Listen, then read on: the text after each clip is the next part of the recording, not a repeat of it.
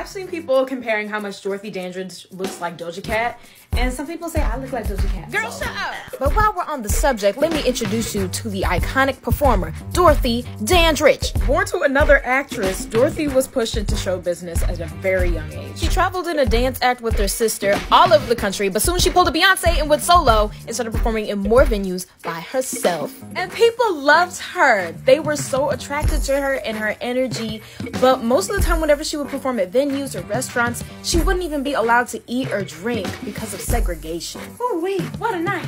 Do you mind if I can get a drink? No, Negro. No. How you gonna ask me to perform, but I can't get a drink?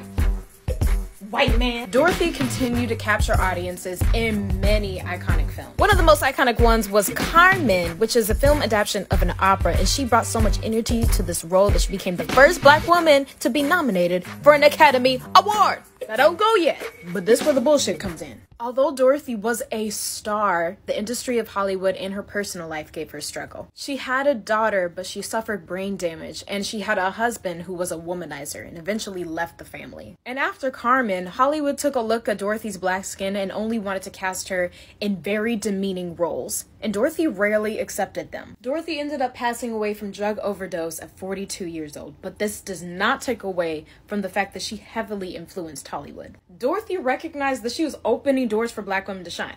And shine, she did.